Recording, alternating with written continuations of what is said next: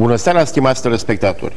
Suntem la postul de televiziune M24+, Plus, la o nouă serie din fascinanta emisiune Conspirația Tăcerii. Acea emisiune care vă relevă lucrurile ciudate, bizare, strane și insolite, care de regulă sunt ocultate, absconse cunoașterii dumneavoastră. Pentru că ne ocupăm de acele lucruri care, iată, sunt ascunse, sunt uh, uh cumva ferite de Uh, ochii celor mai mulți uh, dintre noi, am să încep emisiunea prin a vă spune o mică poveste. În uh, anii 80, unul dintre cele mai mari scandaluri care au fost în lumea științifică, în lumea intelectualilor, în lumea oamenilor de litere, în general la oamenilor care uh, se întâlneau în acea zonă care se numește intelectualitatea românească, este vestitul scandal al meditației transcendentale. Mulți dintre cei care au fost implicați în acest uh, scandal, au avut foarte mult de suferit, ani buni, până ce după 1990 au fost reabilitați. Unul dintre ei este și profesorul universitar dr. Ion Mânzat, pe care noi l-am avut uh, ca invitat în emisiunea noastră și care a povestit despre această întâmplare uh, nefericită, dar extraordinară, și iată că, așa cum ne-a promis și nouă și dumneavoastră telespectatorilor, tot ce a fost legat de această, să-i spunem, nefericită experiență, a modului cum ea s-a produs în România, respectiv a experimentului meditației transcendentale, l-a pus într-o carte. Și anume, cartea se numește Securista și Lordu. Eu am plăcerea să vă prezint Uh, o carte care, dacă o veți citi, veți vedea și veți afla amănunte care nu veți avea de unde să le aflați. Eu am să vă străduiesc să-l aduc pe domnul profesor în emisiune și personal să vă prezinte lucruri care sunt legate de această carte. Pentru că, așa cum v-am promis, uh, răspund la începutul emisiunii și la întrebări. În prima parte a emisiunii de astăzi am să răspund la această întrebare legată cu uh, vestita întâmplare care s-a produs pe un lac de lângă Moscova.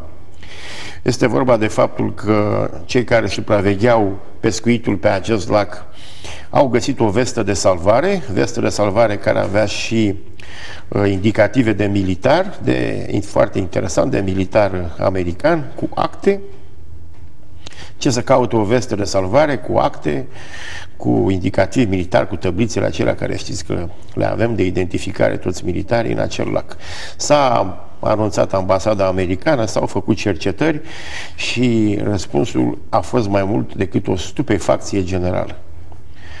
Al-Qaeda știți că a atacat uh, în Golful Aden în urmă cu câțiva ani nava aparținând forțelor navale americane Col, în urma acestui uh, atac terorist, 17 militari americani și-au pierdut viața, trei nu au mai fost găsiți niciodată. Ei bine, vesta unuia dintre aceștia, care nu a mai fost găsită, care nu a mai fost găsit niciodată, deci dar dispărut în timpul misiunii, a fost găsită pe acest lac rusesc. Interesant e că din când în când, pe acest lac rusesc, numit Bezdionii, lacul fără fund, sunt găsite rămășițe de epave ale unor nave care naufragează în Oceanul Indian, în Oceanul Atlantic, în Oceanul Pacific. Resturi, colace de salvare, ceea ce se caracterizează ca restul are un naufragiu. Concluzia este izbitoare, este extraordinară și prin aceasta răspund și telespectatorului nostru.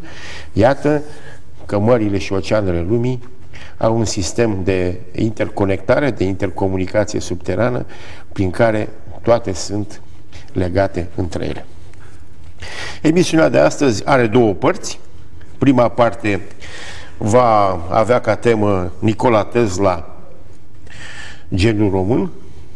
Cea de-a doua parte, rețeaua energetică a Pământului. Pentru aceste două subiecte care sunt nu numai incitante, dar și deosebit de grele, am uh, invitat un specialist de primă clasă în acest domeniu. Este vorba de colaboratorul nostru, domnul inginer Eugen Bârgăoanu. Eugene, bine ai venit. Îți mulțumesc că ai venit la emisiune. Știu că în calitate de director al uh, grupului pe care îl conduce AIME Grup ai foarte mult de lucru, realizând acolo voi foarte multe dispozitive în domeniul psihotronic și astăzi vom prezenta câteva din aceste realizări legate de cele două teme uh, pe care le avem. Și pentru a uh, demara discuția noastră, am să vă prezint cea mai nouă realizare a grupului editorial uh, Vidia. Este vorba de o carte, Fantasticile invenții a lui Nikola Tesla, pe care o vedeți. Uh, este o traducere după David Childress. Eu, colegii mei o să-i rog să aibă puțină răbdare, am să vă prezint și cartea originală, ne vă prezint în mod întâmplător, dar personal îl cunosc pe David Childress și la rugămintea lui am făcut prefața acestei cărți. Deci, Eugen, haideți să începem și să ne gândim la aceste uriașe, fantastice invenții ale conaționalului nostru Nicola Tesla. Ehm, bun găsit! Este o carte pe care am ținut mult să o scoatem în editura noastră. Am așa un sentiment de simpatie și de respect cu totul deosebit pentru omul care a fost Nicola Tesla. Poate și pentru că în venele lui curgea și sânge românesc. O să fac o scurtă biografie ca să vedem contextul în care a trăit uh, Nikola Tesla, în ce context s-a format el ca și om, pentru că educația înseamnă foarte mult pentru orice ființă umană și unde a evoluat, unde s-a desăvârșit și cum ce este atât de important, ce îl face pe el ca om atât de important și care este moștenirea pe care ne-a lăsat-o. Părerea mea sinceră și de cunoscător, este că nivelul la care s-a dedicat Nikola Tesla este mult peste a multor oameni pe care astăzi îi socotim genii, adică Einstein, adică un uh, uh, Lorenz, adică un uh, Maxwell, un uh, Edison. Laplace, Edison, adică mult, mult peste nivelul epocii lui. Deci eu l-aș compara cu un Da Vinci, adică care la fel a avut uh, descoperiri și intuiții care l-au făcut să rămână viu chiar și acum, la sute de ani de când perioada renașterii a trecut. S-a născut în 1857 într-un sat sârbesc, Smilian, Lica, Uh, dintr-un uh, tată care era preot ortodox, Milutinovici îl chema pe tatăl lui, de origine sârbă. De altfel, în tradiția Tesla, apartenența la biserică și era un preot foarte respectat și o personalitate de vază a Bisericii Ortodoxe din Serbia. Și chiar și în zilele de astăzi sunt membri ai familiei Tesla care continuă linia asta și devin preoți, devin membri marcanți ai Bisericii Ortodoxe, adică era o tradiție în familie la Tesla, iar mama lui era de origine română, comunitate română, tot din Serbia, și era renumită în întreg ținutul pentru inventivitatea și priceperea ei în lucru manual. Deci chiar uh, există foarte multe mărturii pentru cât de măiastră și de priceput erau toate lucrurile pe care ea le întreprindea. De altfel, mai târziu, Tesla recunoaște că uh, această calitate a lui de novator și inventator le-a moștenit de la mama lui. Și va mai avea o remarcă foarte interesantă, anume va spune că dacă Tesla spune așa, dacă eu aș fi avut imaginația mamei mele, probabil că aș fi realizat de 10 ori mai multe realizări tehnice. Da, este, a avut un respect deosebit pentru mama lui.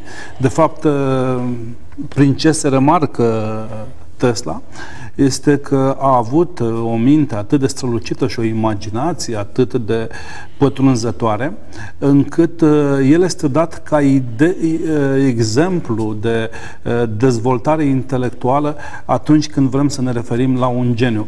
De regulă, orice, exact cum spunea Edison, o invenție este 1% inspirație și 99% transpirație și există celebrul experiment cu Edison care a încercat o mie de materiale pentru a face filamentul primului bec și de-abia la 1001 oară a reușit. Tesla spunea că astea sunt niște încercări de om tâmpit și că numai printr-un noroc a ajuns la un uh, rezultat. El proiecta tot în minte. Deci în minte construia experimentul, în minte construia dispozitivul, toate testele le făcea în minte, astfel încât în momentul în care Tesla punea ceva în practică, întotdeauna mergea perfect de prima dată, adică nu avea nevoie de niciun fel de ajustare. Totul era în mintea lui. Asta este și marea problemă care a rămas după Tesla sau care n-a rămas după Tesla, pentru că au fost foarte puțini ingineri, au fost foarte puțini oameni tehnici care să-l înțeleagă și să poată discuta cu el la un astfel de uh, nivel și unele chestii s-au pierdut pentru că au rămas în mintea lui uh, Tesla. Deși după moartea lui uh, Tesla, după uh, al doilea război mondial, el a murit în 1943, în vârstă de 86 de ani, uh, la un hotel părăsit și sărac la un Waldorf Astoria din uh, New York. Uh, și familia lui a reușit să repatrieze uh, 17 cufere cu documente, dar foarte multe lucruri s-au pierdut totuși și nu se mai știe nimic de ele. Nu se știe dacă au rămas în memoria lui cineva, uh, i-a luat, i-au fost incendiate laboratoare, i-au fost distruse. Da? Școala primară o face în uh, Gospici, uh, unde se dovedește un tip ieșit din comun ca inteligență. Iar liceul face la o mătușă de-a lui din Croația, în Karlstad, și din nou uh, dovedește școala reală, iar liceul școala reală superioară, așa se numeau pe vremea respectivă, și reușește să termină uh, în trei ani în loc de patru, în 1873 să termine uh, cursurile în trei ani în loc de patru. O inteligență cu totul și cu totul ieșită din comun.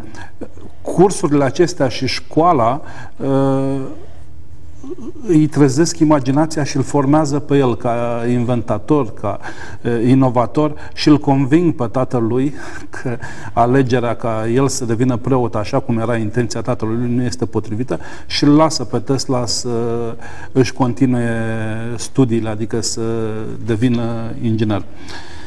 Uh, începe școala politehnică la Graz, Există o scurtă perioadă, întrerupe studiile pentru o perioadă pentru că în urma unei epidemii de holeră este aproape la un pas de moarte. Sunt chiar câteva revelații mistice pe care le-a avut în timpul acestei perioade și de ar bol. trebui să dăm și acea întâmplare foarte interesantă când toți medicii din jurul familiei constată că uh, nu mai are ce să-i să facă, era la un pas de moarte, uh, tatăl său, care era preot, deja înțelege că trebuia să se pregătească pentru a se despărți definitiv de el și în aceste situații, fără ieșire, la poarta familiei Tesla se prezintă o femeie foarte slabă, uscățivă, îmbrăcată în negru, cu fața acoperită, care cere să vorbească cu uh, capul familiei, spunându-i că a venit să îi se aprobe să-i dea un medicament cu care Tesla va fi însănătoșit. În disperare de cauză vă dați seama că orice părinte ar face acest lucru, dacă tot ce se întâmplă ceva, îi mai dăm și medicamentul ăsta. Femeia rămâne cu micuțul Tesla, îi administrează acel uh, medicament, după care dispare. Și, așa cum a spus femeia, după trei zile Tesla va început să mănânce, își va reveni și niciodată nu se va mai îmbolnăvi. Interesant este altceva, că nimeni niciodată nu a știut cine a fost această femeie, de unde a venit și mai ales cu ce l-a tratat pe Tesla. Rămâne o mare enigmă, există documente scrise, uh, însă probabil că la un moment dat destinul marilor personalități ale lumii este reglat de undeva într-o zonă pe care noi nu o putem încă înțelege.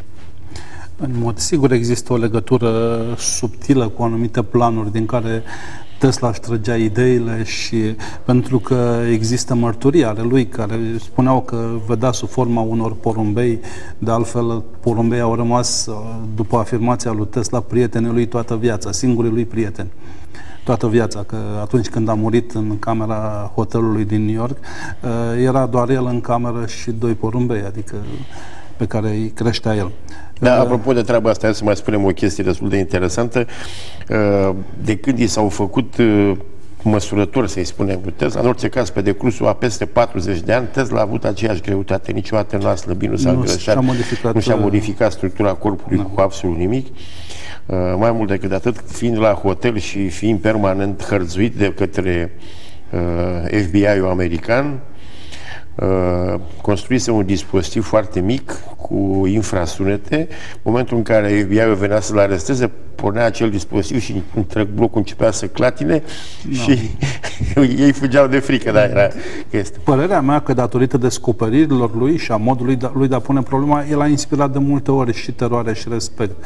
Pentru că și Morgan și la un moment dat au vrut să-l elimine de pe planul ăsta, dar s-au temut de uh, modul... Era un ceva, era un ceva era care un ceva. Da, da. tot. După această boală, în timpul acestei boli a avut chiar multe revelații, revelații perioade de introspecție și deși la început își continuase o parte de studii în Praga, în Budapesta, deci în Imperiul Austro-Ungar, cum era atunci, începe să aibă păreri nu foarte agrabile legate de Franz Josef, și în 1821, după ce își termină studiile, merge la Paris, încearcă și problemele financiare foarte dificile pentru că părinții lui nu erau foarte înstăriți. La un moment dat a trebuit să se întrețină singur, ajunsese de nu mânca aproape nimic și s-a hotărât ca să continue totuși studiile și le termină, deci aproape fără mijloace de subzistență. Se angajează la un moment dat la o companie de telefoane ungurească, dar era plătit foarte, foarte prost și invențiile nu erau uh, prețuite. Pleacă în uh, Paris, unde se remarcă datorită spiritului lui inventiv, intră în uh, în legătură cu universități din Paris și își dă seama că de fapt țara care promovează descoperirile care ar avea posibilitatea să um, dezvolte rapid uh, noile cuceriri în domeniul electric este America. Și atunci reușește să vină în America aproape fără niciun ban și să se avânte într-o aventură care o să-l facă celebru și glorios, nu neapărat uh, bogat. Toți ceilalți care au fost pe lângă Tesla s-au îmbogățit, adică din uh, descoperirile pe care Tesla le-a inspirat. Marconi, care a fost un foarte bun prieten în urma discuțiilor cu Tesla, uh, proiectează primul aparat de transmisie la distanță. Acum mi s-a recunoscut paternitatea și lui Tesla și sunt trecuți amândoi ca autori pentru primul radio, dar Marconi devine multimilionar în timp ce Tesla nu avea bani pentru mâncare, pentru subzistență. Însă idealurile lui nu și le-a trădat niciodată, adică din, din banii lui, din cât avea permanent, a mai găsit sponsori care i-au uh, permis să-și continue cercetările și să facă niște lucruri ieșite din uh, comun. În 1891, în mai 1891, în 20 mai 1891, ține o celebră cuvântare, un celebru speech de mai multe ore în fața Institutului American de Inginerie Electrică.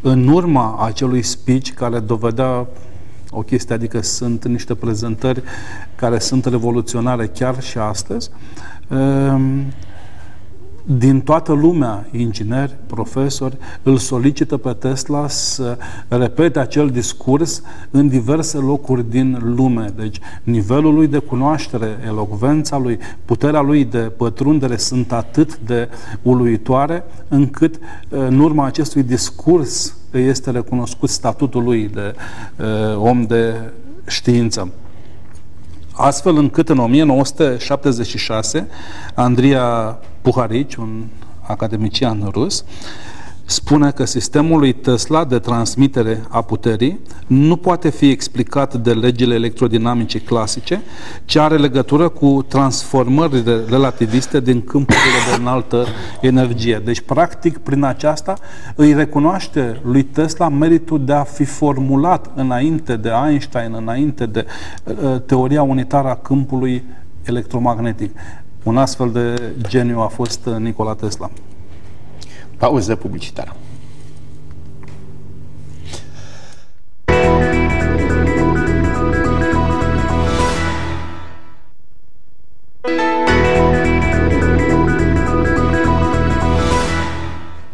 Am reluat din nou emisiunea, iată, suntem în studioul Post Televiziune 24+, Plus, invitat domnul inginer Eugen Bărgăoanu cu un subiect extraordinar, Nicola Tesla, genul român, Nicola Tesla, extraterestru român. Eu vreau să vă citesc numai o singură propoziție, cum mi-am uh, încheiat-o aici prefața la această carte, propoziție care pe unii a supărat, pe unii i-a bucurat. Și spune așa, pentru noi, românii, el, Nicolae Tesla, rămâne în panteonul nostru de suflet eternul Vlah Nicolae Tesla. Adică reluat pentru că numele său, vedeți, are consonantică pur românească legată de o îndelenicire la vremea aceea tâmplăritul, tâmplării a prelucrarea lemnului, care era una din acele zone de meșteșuguri care aducea progresul. Te rog. O să atac trei direcții legate. Una, preocupările lui Tesla despre dezvoltarea unui sistem energetic care se numește Free Energy. A doua, preocupările lui Tesla legate de sănătate. Și a treia, implicările lui în două, de fapt în câteva fenomene eh, legate de undele scalare. Eh, sunt câteva proiecte care s-au desfășurat în Statele Unite, experimentul Philadelphia, proiectul Montauk și raza morții. Și să nu uităm Harp. Și Harpul, care, da, își are toate toate îi recunosc paternitatea lui Nikola Tesla pentru uh, concepție. Da. Pentru prima dată în lume, deci pentru prima dată când nimeni nu se gândea, când Edison uh, de-abia descoperise dinamul, curentul continuu și se credea că este culmea um,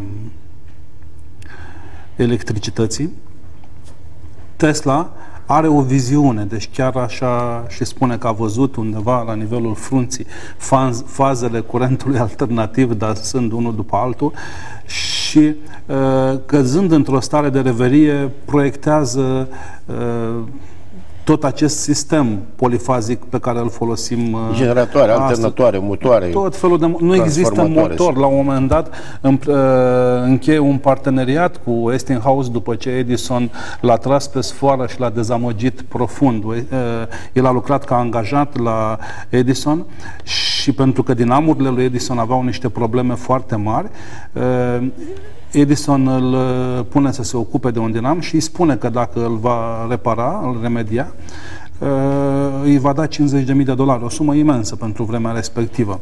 Dar era o miză foarte mare în uh, joc. Tesla reproiectează complet dinamul respectiv, îl fa- face un ceva cu totul și cu totul diferit uh, și face pur și simplu acel dinam să nu se mai strice. Modul de proiectare a lui Tesla generează un cu totul și cu totul alt motor decât uh, îl gândise Edison prima dată. Uh, ca urmare, Edison îi spune că a fost doar o glumă americană și să se obișnuiască cu umorul american și să-și ia gândul de la cei 50.000 de dolari, dar Tesla a fost profund afectat de modul acesta de a pune problema și a rupt partea parteneriatul cu uh, Edison. După care se asociază cu Westinghouse, uh, construiește fizic tot felul de motoare, sincrone, asincrone, cu rotor în colivie, cu polifazice, cu stator fără stator, cu stator cu magneți fix și așa mai departe. Tot felul de motoare, toate motoarele care se folosesc astăzi, aproape fără niciun fel de modificare, sunt gândite de Tesla înainte de 1900. Învingându-l practic pe Edison cu da, ceea da, ce deci susținea el în sistem, de Sistemul lui da. polifazic da. s-a impus, adică pentru că uh, curentul continuu nu putea fi transportat la distanță, nu se poate ridica, sunt pierderi mari, nu se poate transforma, nu pot exista stații de transformare pe curent continuu. Acum, așa ca o bulină în istorie, Edison, care era supranuit vrăjitorul de la Menlo Park, nu-l va ierta niciodată. Da, pe, nu-l va ierta. Pe nu, Tesla nu, pentru, pentru că i-a stricat afacerile, în primul rând. Da. Și Westinghouse i-a propus în schimb un dolar pentru fiecare eh, motor pe care firma lui îl va eh, scoate după proiectele lui Tesla. Eh, în câțiva ani Tesla ar fi trebuit să fie... Ca virgulă producție, deci nu ca tip. Ca, ca producție, ca producție da. da. În câțiva ani Tesla ar fi trebuit să fie multimilionar. Da. În realitate Westinghouse a avut mari probleme financiare și atunci Tesla, dând dovadă de un umanism, un altruism cu totul, ește din comun când Westinghouse avea probleme, i-a rupt contractul și a spus nu-ți fă probleme, adică fă lucrurile cum crezi tu că este mai bine pentru tine și așa de un umanism cu totul și cu totul aparte. Uh, el a fost sponsorizat la un moment dat, a primit 150.000 de dolari din partea uh, bancherului Morgan, uh, grupul Rockefeller, din, pentru a dezvolta un sistem de uh, energie pentru întreaga planetă, adică pe care, bineînțeles, Morgan vrea să o controleze. El a construit un, uh, un uh, uh, turn special în Colorado Springs, în Long Island, uh, pentru și un laborator pentru a-și desfășura cercetările. Uh, a reușit să termine, deși era o sumă foarte mare, a reușit să termine rapid banii lui Morgan și când a discutat cu Morgan pentru a mai lua așa cum i se promisese o subvenție, ideile lui Tesla despre ceea ce se numește free energy. Free energy înseamnă, eh, free în engleză înseamnă gratis free pizza, pizza gratis, free energie, energie gratis, pentru care nu trebuie să plătești nimănui. Tesla spunea că, de fapt, uh, energia aceasta se găsește peste tot, în spațiu, de fapt, în vidul care există în prejurul nostru. Și că tot ce trebuie să facem este să o extragem. Și el vrea să construiască un turn, a și construit de altfel, avea vreo 57 de metri înălțime, sfera de metal din vârful turnului avea 20 de metri în diametru și avea vreo 55 de tone și el vrea să excite electric uh, pământul, să transmită niște curenți în pământ. Uh, de curând s-a descoperit că avea dreptate și astfel încât oricine cu o banală antenă și cu un, uh, o împământare, exact cum ai capta un post de radio, să aibă acasă curent fără să plătească absolut nimic nimănui. Da? Bineînțeles că Morgan i-a retras subvenția pentru că cuvintele lui au fost energie gratis, să o creadă domnul Tesla și i-a retras subvenția în timpul primului război mondial, în 1917, mi se pare, turnul a fost dinamitat, pur și simplu a fost ras de pe fața uh, pământului, iar cei de la Waldorf Astoria au recuperat din lemnele de acolo și au strâns câteva mii de dolari ca Tesla să-și plătească datoriile pe care le avea la hotelul în uh, care locuia. Asta este ce a rămas din uh, munca lui în uh, Acum, legat de ceea ce ai uh, povestit, Tower. ar trebui să reamintim că legat de acest experiment se spune că vestitul uh, mare eveniment supranumit, cunoscut ca meteoritul Tungust, ar fi putut fi rezultatul unuia dintre astfel de experiențe pe care el le-ar fi executat cu energii deosebit de mari, conduse la distanțe uh, undeva în partea cealaltă a Pământului. Acum există niște studii foarte aprofundate asupra acestui subiect și se pare că una din cauze poate fi aceasta. Chiar relativ uh, autori contemporani au uh, Nicholson sau, au uh, adus niște mărturii noi care arată că este foarte probabil ca experimentul tung, sau Tungus, fenomenul Tungus să fie un experiment al lui uh, Tesla de a dovedi că se poate uh, produce o energie imensă, dar cu, cu ajutorul electricității, se poate transmite prin pământ și se poate uh, propaga și manifesta la o distanță foarte, foarte mare. Oricum, uh, uh, ideile că acolo la Tungus a fost un meteorit și nu stau în picioare, pentru că nu există nicio urmă de metal, uh, s-au făcut săpături și la 35 de metri, nu există nicio urmă de metal meteoritic, nu există crater, uh, pur și simplu există o uh, arsură, deci o uh, cicatrice exact sub forma unui fulger imens. O zonă care, de descărcare energetică deosebit de Da, deci în uh, zona respectivă.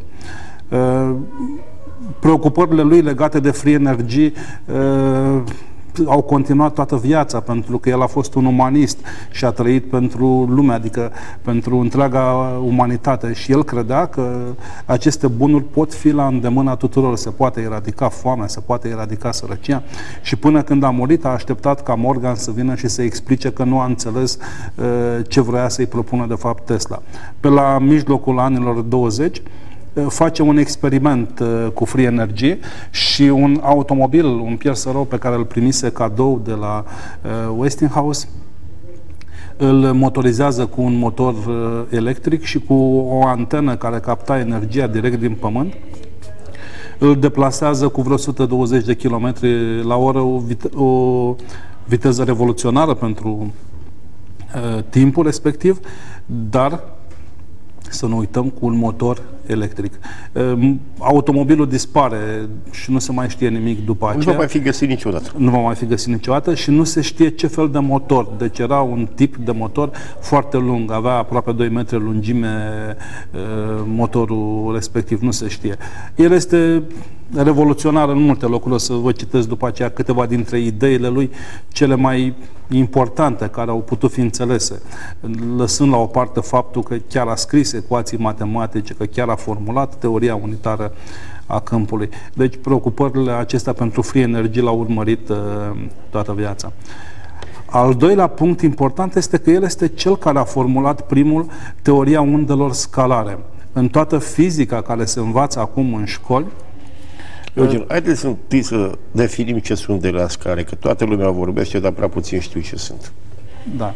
Uh, în uh, școală acum to- toate undele despre care se învață, undele electromagnetice, sunt unde transversale. Întotdeauna direcția de oscilație uh, este Planul de perpendiculară oscilație, pe direcția de propagare. Exact, sigur. Da? Deci, intensitatea câmpului electric e, intensitatea câmpului magnetic sunt perpendiculare una pe alta și se rotesc într-un plan perpendicular pe direcția de propagare. Tesla a afirmat că există, de fapt, forme de unde și acela este, de fapt, cum să spun, conținutul electromagnetic cel mai consistent, care oscilează în lungul direcției de propagare. Nici nu se pot reprezenta într-un spațiu 3D acele uh, unde. Tesla a reușit să gândească dispozitive și sisteme care să genereze și să folosească astfel de unde. Uh, el a afirmat că, de fapt, mintea noastră, că, de fapt, uh, materia este susținută de acest electromagnetism scalar. Și a gândit niște dispozitive. În, uh, în, uh, după război, în, spre sfârșitul anilor 40, în Montauk, în California, s-a produs un experiment în care s-au testat uh, um, dispozitive gândite de Tesla legate de undele scalare. Mai precis, au construit un dispozitiv capabil să citească gândurile și să identifice undele acestea ale minții. Și după care s-au uh, uh, emis, erau aduși oameni uh, obișnuiți, erau așezați în câmpul respectiv și se emitea uh, o undă scalară care corespundea măr, scaun, levitație, unui concept din acesta foarte simplu. Toată lumea spunea că era ca și cum cineva l-ar lua de minte și nu se mai putea gândi decât la măr, decât la scaun. Ca urmare, scaunul sau mărul sau apăreau manifestate fizic în fața lor și rămâneau acolo după ce se termina uh, experimentul și uh, au fost atât de concludente și atât de importante considerate cercetările, încât uh, Vern Cameron și Duncan Cameron, cei doi frați considerați printre cei mai mari mediumi pe care i-a avut uh, America în epoca contemporană, uh, au fost declarați persoane periculoase dacă ar ajunge în afara Statelor Unite, nu li s-a dat voie să vorbească despre experimentele respective și abia mult mai târziu, prin anii 70 80, uh, niște ziariști, uh, Jack Nicholson și Preston Moon au scos niște cărți despre experimentul Montauk mult mai târziu după, dar experimentele care s-au realizat atunci au fost pur și simplu covârșitoare, adică dacă ar fi să ne luăm după ce spun uh, acești doi ziariști, S-au creat un sistem de porți gen Stargate în care se poate circula de pe planetă în alta, s-a luat legătura cu civilizație. Acum să aducem, da, acum să aducem lucrurile și puțin la noi acasă. Unul dintre acești zeari și scriitori, Peter Mon, acum doi ani a fost la noi în țară și s-a ocupat foarte asidu o vară întreagă de studierea câmpurilor energetice din munții noștri. Ca da. fapt divers. Adică e... Oricum, experimentul Montauk nu este închis. Este deci... considerat, da. Oricum, în urma acestui experiment s-a concluzionat că Tesla avea dreptate, că undele scalare există, că proiectele lui sunt vii, că de fapt mintea noastră este o unealtă infinită și uh, a fost demonstrat științific uh, lucrul acesta că nu s-a modificat și că în fizica din școală noi învățăm că există doar unde transversale și că asta este, adică asta nu avea Tesla cum să o prevadă și interesele financiare și interesele de a ține lumea poate în obscurantism se Acum pare că să legăm și de preocupările noastre cea mai speciale. Spuneam într-o emisiune trecută că cel ce stăpânește armonia stăpânește Universul.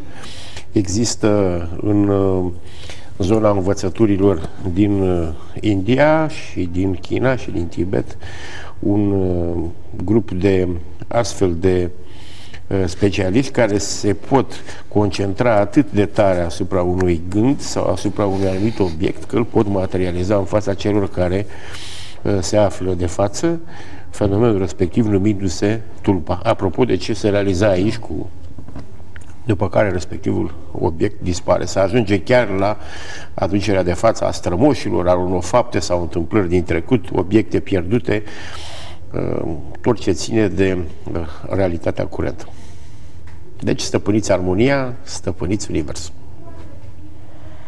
Așa este. De altfel, uh, și noi în grupul nostru am produs niște dispozitive da, chiar aș vrea să vorbesc puțin despre acest aparat. Uh, unde scalare.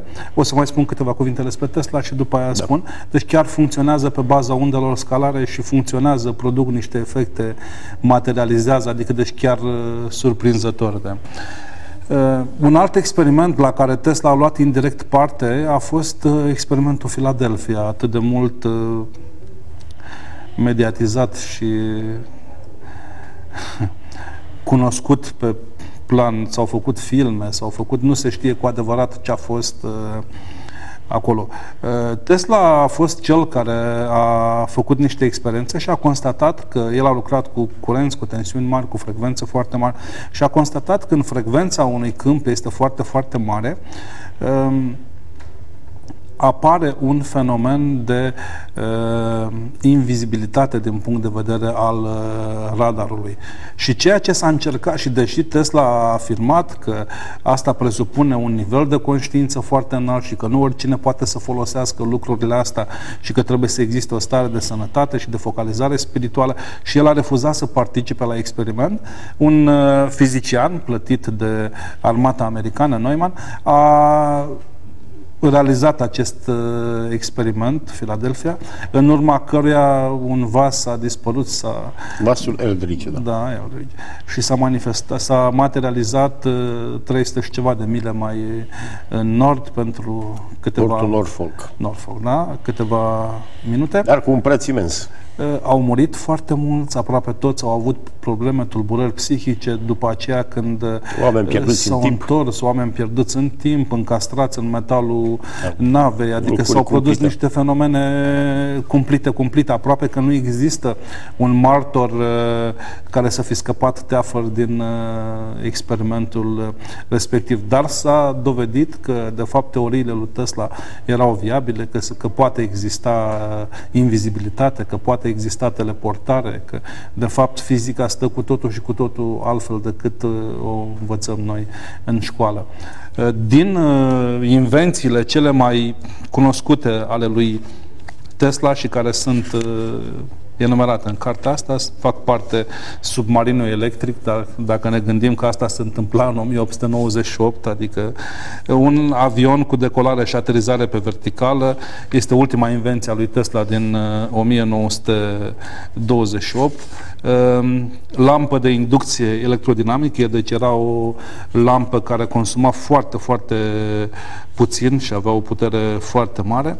O turbină a lui Tesla fără palete a fost brevetată în 1916 și este o turbină care are pur și simplu o serie de discuri și datorită unui, uh, unei fricțiuni care există între lichid și discurile respective este cea mai Să nu uităm că centrala electrică de la Niagara și acum, după este, da, foarte da. mult timp, este proiectată, da. funcționează după principiul lui Tesla. Dar despre toate astea da. după o scurtă pauză publicitară.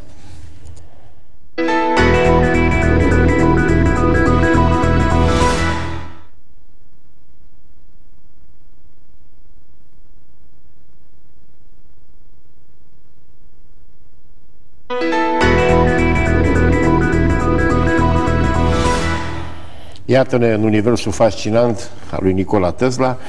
Despre toate celelalte lucruri veți afla citind această carte extraordinară, fantastice invenția lui Nicola Tesla. Eugene, ne-ai promis că ne spui ceva și despre acest aparat cu un descalare. Te rog să-l prezint, să-l arăți. Altfel, această carte e unicat este... în România.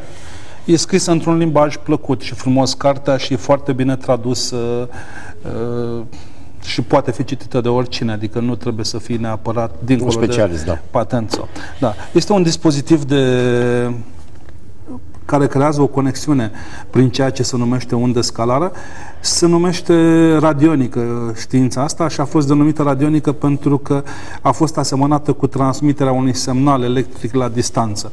De fapt, acest dispozitiv uh, creează o conexiune, e ca un neuron extern pentru mintea noastră și în momentul în care noi uh, uh, avem un gând pe care vrem să-l manifestăm, se produce un acord pur și simplu se face un acord ca în radiestezie, te gândești la ideea pe care vrei să o produi, se acordează aparatul acesta, se sugerează o țintă. Ținta este sugerată printr-o amprentă uh, biologică. Există, dacă sunt puțini, adică mulți consideră magie, sunt puțini, puțini cei care înțeleg că, de exemplu, o amprentă biologică a unui om, un fir de păr, o bucățică de unghie, păstrează o legătură, o fotografie, păstrează o legătură permanentă cu subiectul respectiv.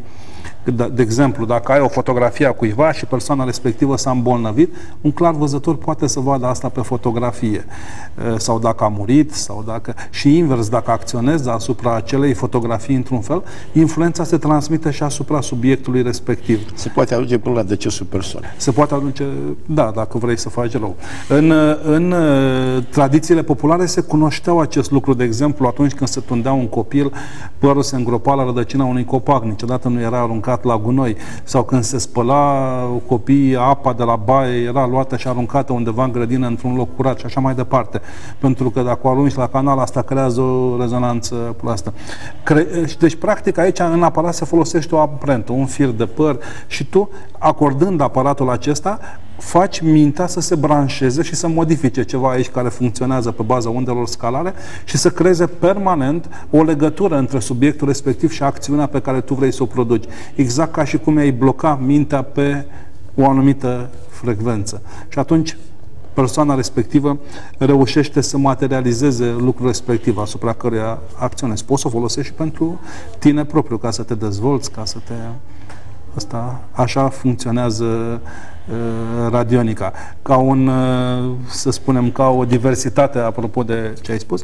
În 89, după ce a căzut cortina de fier, Uh, un dizident rus a făcut o mărturisire care a șocat toată lumea uh, științifică.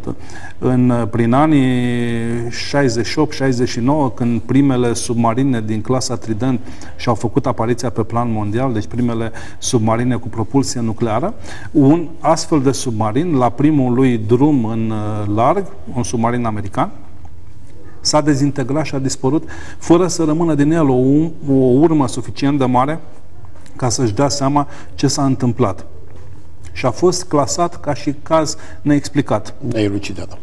În 89, când acest dizident uh, a a apărut și a făcut declarația asta, a spus că, de fapt, uh, rușii, printr-un dispozitiv de tip radionic, au proiectat o explozie nucleară asupra unei fotografii pe care o aveau cu submarinul respectiv din uh, doc, de la probele din doc nu l-a venit să creadă, dar când au suprapus filmul din satelit, timpii din satelit, cu, când a avut loc uh, explozia și când s-a pierdut legătura cu satelitul, corespundeau la zecime de secundă. Adică deci nu a mai rămas niciun fel de dubiu că de fapt uh, uh, toate lucrurile acestea, este posibil să fi fost așa, cum a spus acel dizident rus. Deci asta... Ca să te completez, că mai avem foarte puțin timp, eh, chinezii au făcut ceva și mai tare cu astfel de dispozitive, cu oameni foarte bine antrenați și foarte mulți, s-au concentrat încât atunci când s-au supărat pe fraților sovietici, le dobărau sateliții numai privindu-le imaginile pe televizor și concentrându-se printr-un astfel de dispozitiv radionic folosind unde scalarea.